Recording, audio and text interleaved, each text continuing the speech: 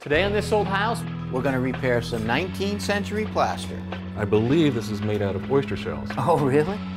And today's challenge is rot. When you find a piece like this, does it stay or does it go? what happened to all this plumbing here? I've never seen anything like this before. There's already rot going on in that trunk. So what have you found up here? Well, a bit of a surprise. It's really the classic plumber's lament. This one right here is right on. Ooh, and the smell just changed. That's baguana. Oh, lovely. Now it's your turn to save it for the next generation. The money's in the detail. That is beautiful.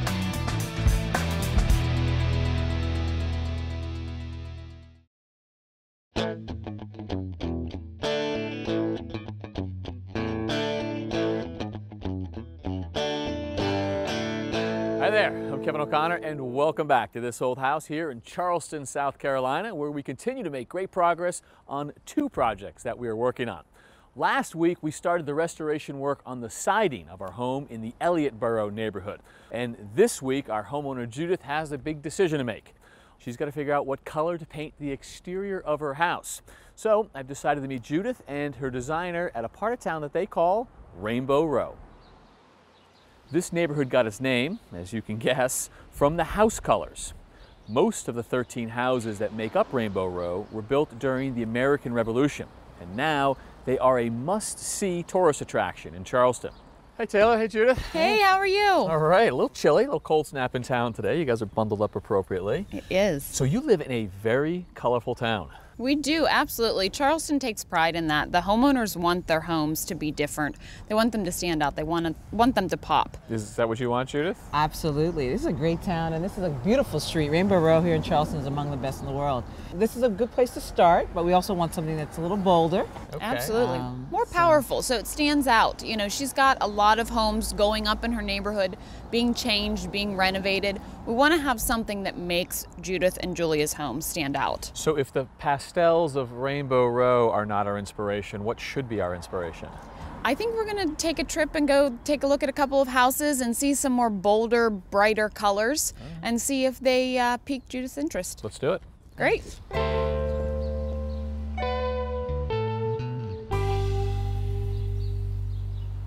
Okay, well, we've got a good example here of a brighter, bolder color in the teal house. And uh, unlike downtown, now we've got a wood house, clapboards, and sort of a similar size and scale to yours. Yes. What do you think?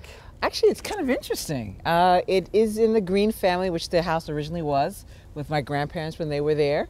And it's almost Bermuda teal. The waters of Bermuda are almost this color.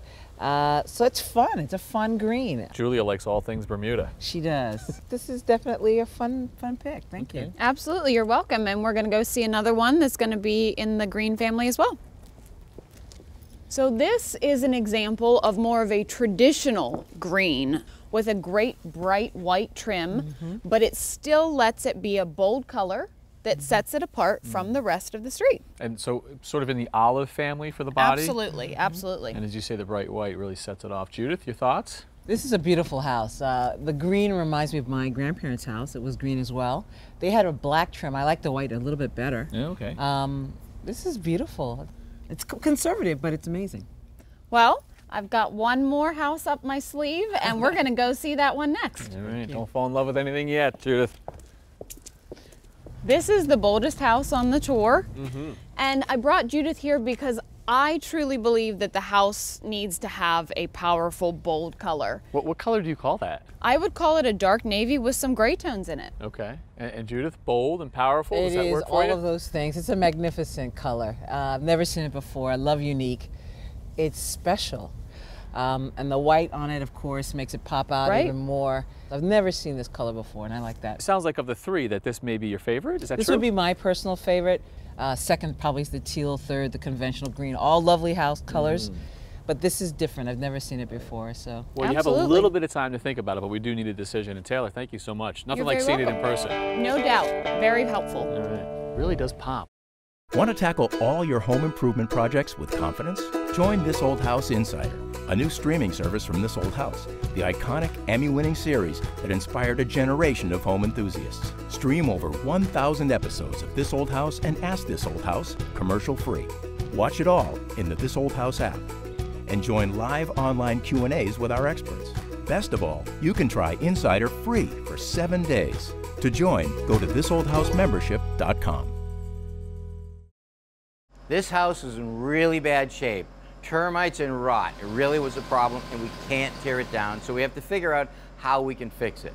So if you look up here on the second floor in the front room, you can see the full dimensional two by four ceiling joists that run from the outside wall to outside wall. Now in this part of the house right here, we had the sister new two by 10s along the side of the original two by fours and put a subfloor up there. The reason is above here is going to be a heating and cooling system and we want to make sure that the floor is structured strong so when the service person's up there, they don't fall through the ceiling. Also made an access hatch right here so we'll put a pull down stair in so they can get up there easy to service the panel. As we walk towards the back of the house, it really gets worse. Now, back here, they've replaced all of the ceiling joists with new 2x10s. And you can see where the ends where they cut them off because they were so rotted. Now, these 2x10s, like the 2x4s, go from one outside wall to the other outside wall. And they're actually there to carry the weight if somebody's up there, but they're actually work under tension. So as the roof wants to push down, the side walls want to push out. By running them on the outside walls and fastening them the way they are, they can't push out. If you step back a little further, this is where the hole was in the roof. All of those boards were replaced. But in this section of the house back here, it was so rotted, we had to rebuild the whole thing. Remember the termites and the rot problem that we had downstairs? Let's take a look and see how they fix that. This is the side of the house we had all those termite problems and rot, and we had to deal with it. So we replaced the old sill with a new pressure-treated 8x8, and we cut off the 2x4s that were rotted and didn't make it to the sill. To fix that problem, we now sister a new 2x4 against the side of the old 2x4. It runs up to the ledger inside, all the way down to the new sill. We've had a lot of issues and problems with termites and rot, and dealing with them is always a challenge thank you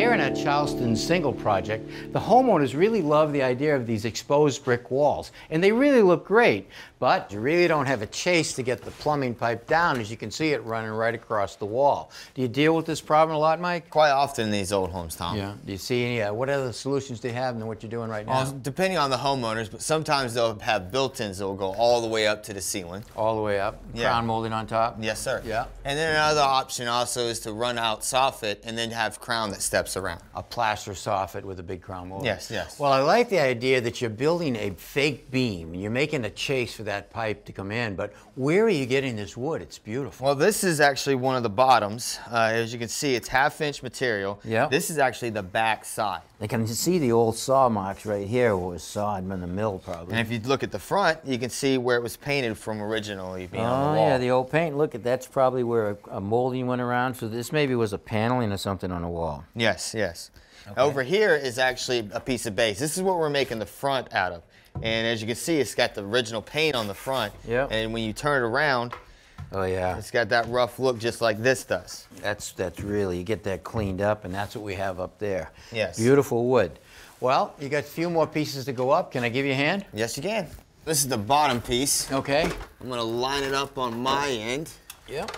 And we can only tack this because the plumbing still has to be inspected, so everything's Oh, gonna yeah. come down. All right. How's it look there? Uh, right there. I like that miter on the front edge. It makes the beam look like one solid beam. Yep. All right. Tack it down there. Yep. Next piece is this bottom piece right here. Okay. Got it. Okay. Ready? Yep.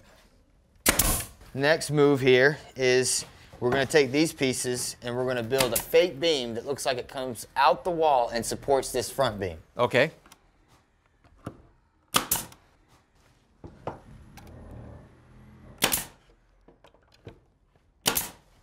Okay. All right, now we gotta put on the end. Yeah. You good there? Yeah. All right, now you'll be able to see what I've done here. Okay. And as we nail it up, you see that I have the end grain going this way to mirror to match this. Yeah, so this looks like one solid block of wood. And on the face, we turned it back up this way, so it looks like the end grain of So a you're fooling the eye. Yes. Nice job. All right, I'm tacking it. Yep. There you go. All right, that's it. You know, the fact that you didn't make the joints at that lap joint tight where the two beams meet really looks good. Yeah. You want to have the appearance that it looks like it's old. So obviously, old wood wouldn't be tight right now. You're right. Nice job, Mike. All right, thanks, sir. Now you can watch This Old House and Ask This Old House anytime, anywhere. Download our new app to stream full episodes to your tablet, your TV, and your phone. Binge on classic episodes, catch up on recent renovations, and get step-by-step help projects all around the house. Best of all, it's free. The most trusted home improvement information is now available on your Amazon Fire TV, Roku, Apple TV, iOS, and Android devices. Download the This Old House streaming app today. Here at the stairway leading to the new bedroom off the kitchen, Jared has been working on the stair treads, risers, and wainscoting. How's it going back here, Jared? Good. Just installing the last tread, Tom. All right. Getting ready to uh, install the nosing around the stairwell perimeter. Yeah, I can see that. You've got it all cut. You've got a nice round over edge here, and you've slotted the back for a spline. That's right. Now you'll have to cut a slot or dado here so that spline will fit in there and hold it into position. That's right. So that's really going to look good. You're going to hide the end grain nicely, and by the time that's in and finished, that'll be flush with the floor. Yep. What do you want to do first? Uh, I want to route out the flooring to receive the spline and then install the nosing.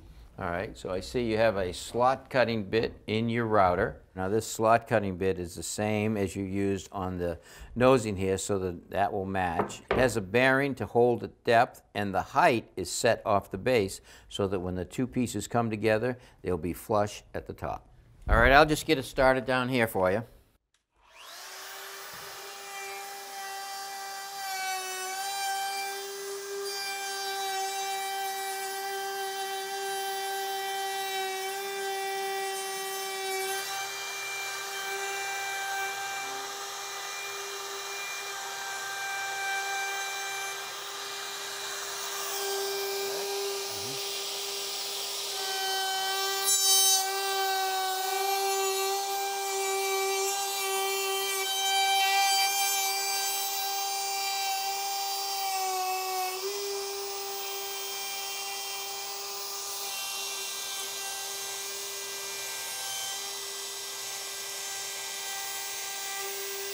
All right, so you cut the splines out of the same material that the floor is made out of. Correct. All right, you've cut the width of the spline a little bit narrower than half the depth of the slot. So when it slides in, you'll have some room for glue on either side. That's right.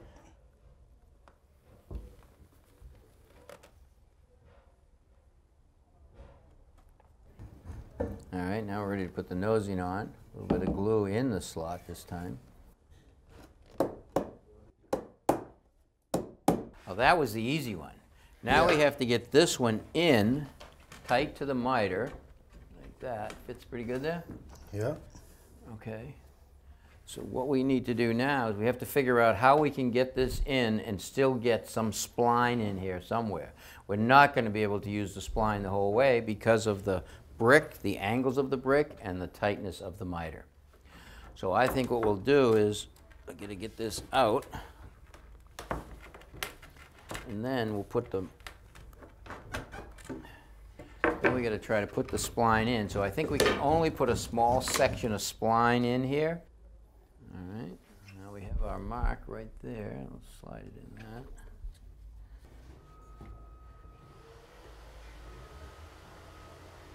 Also, I want to put some construction adhesive in this part.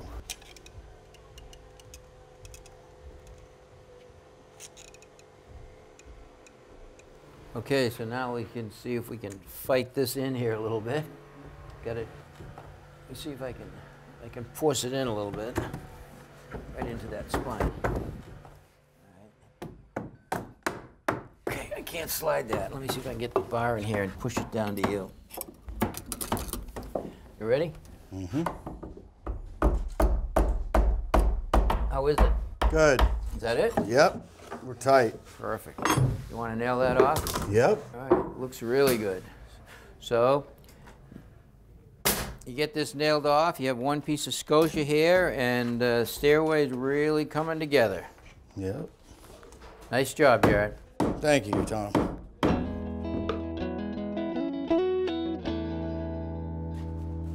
Here at our Charleston single house project, we talked a lot about the exposed bricks on the interior walls of the house. Now the plaster is still up in the foyer and the homeowners would really like to save it.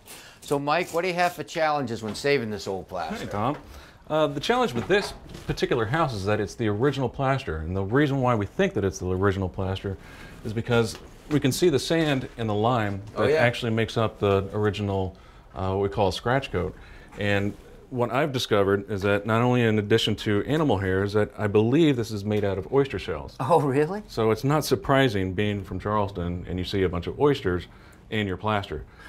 so some of that oyster shell that you can see is actually coming through here in mm-hmm. these little inclusions that you see on the plaster. Oh, yeah. And so what we'll do is we'll just take a bunch of this really rotted out plaster. Yeah, that's pretty out of the way. It is. So you'll cut that and drag that all out, clean We'll it drag it all out and then we'll clean it up a little bit. See how it just crumbles out? Yeah, that, I was just gonna say, that's pretty soft. It just cuts right out. There's nothing holding it. Yeah. So now that I've removed all the loose material, let me show you around the other side. Okay.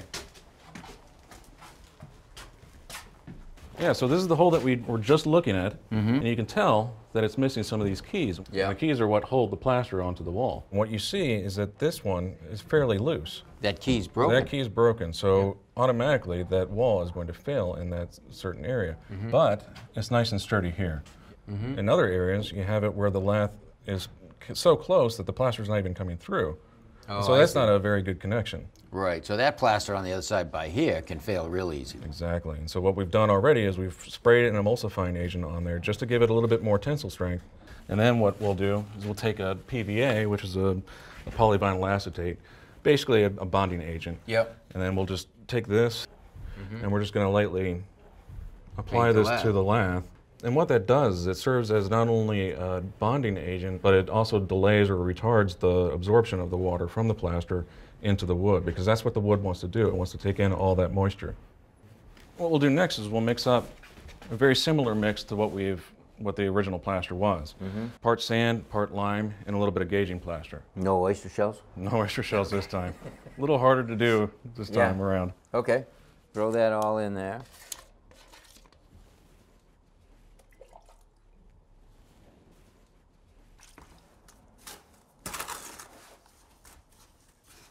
So you have a lot of time to work with this?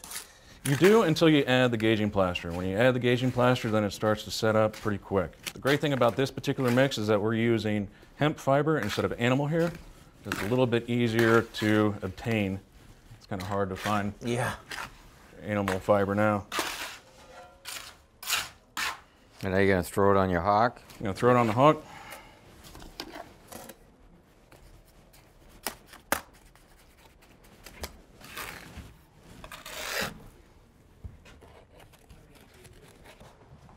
So you're laying that on pretty gently. I am laying it on gently. If I push it too hard, then we're going to push the existing keys that are strong, And damage those. damage yeah. those, and we don't want to do that. And so what this is doing is, is this is going to bond all the broken keys back here that you can see. Oh, so the face of the broken key is gonna bond to the It's going to bond new. to the, the new plaster. Yep. Smooth it out just a little bit. No one's going to see this, so it doesn't need to be pretty. That burlap? It is burlap. You just push we'll- it in there. We'll push it gently, push it against. This serves as an additional reinforcement and kind of keeps it all together. Yeah. So you're making a sandwich. Making a plaster burlap sandwich. Yep. What's next? Next, we will attack the front side. So now you're gonna build that up and, uh, and bring it right flush with the wall, or are you gonna do it in layers? Because the original plaster is so thin, I can actually do this all in one layer, and it's such a small area. Mhm. And then it'll take uh, probably a day to really set up before I can apply the finish coat. All right, well, that's going to be great. It's going to be lasting for a long time. At least another 170 years. great. All right, well, I'm kind of hungry for oysters. Want to join agree. me? Let's All go. right, let's go. This backyard may look like a disaster area right now, but in a few short weeks, it's going to be a finished landscape. And a big part of the landscape is going to be a pergola, which lands right about here. Now, that pergola is being built with the help of a local college, and Tommy's going to check it out. Hey, Bruno, what are you using here?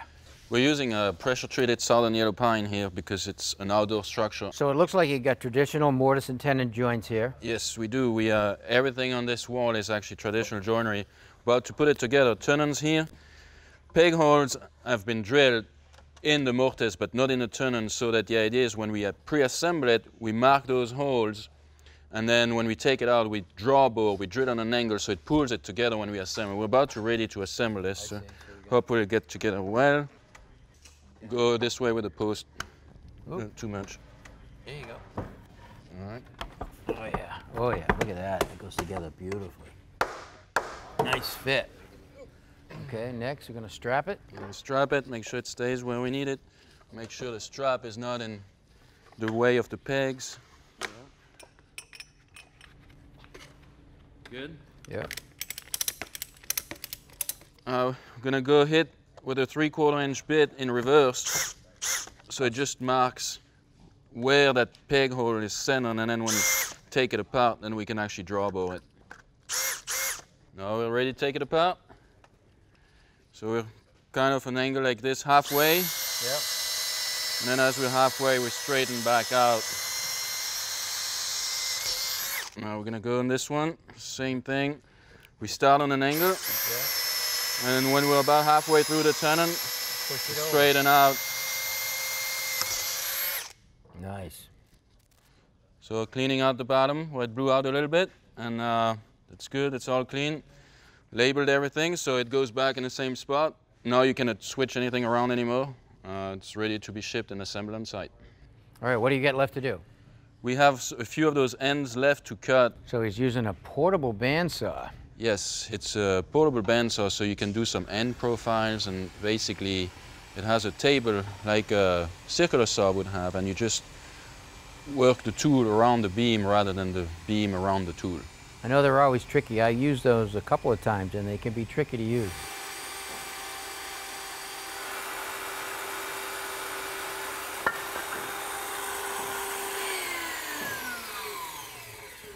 Oh, that saw does a nice job. Yes, it does. All we have left now is sanding this off a few ribs, and then we have three more to cut. Then we have another wall to pre-assemble. It's ready to be shipped on site and be finished. Hey, Hey, how you bro. doing? How are you? Tommy? Good. Yeah, Oh, that is is looking great, huh? Pretty nice, yeah. This is eventually going to get painted, but next week Bruno's going to show up on site with his guys and they're going to assemble it for us. All right, well, looking forward to that. Yeah. So until then, I'm Kevin O'Connor I'm Bruno Soto. And I'm Tom Silva. for this old house here in Charleston.